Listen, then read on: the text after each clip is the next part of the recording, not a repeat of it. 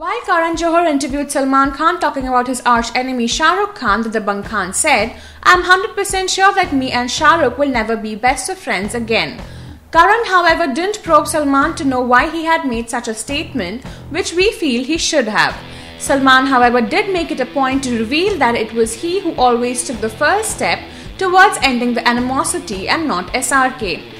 The magnanimous Salman Khan went on to say that he has immense respect for SRK and his body of work and will never tolerate anyone bad mouthing him before himself just to earn some brownie points.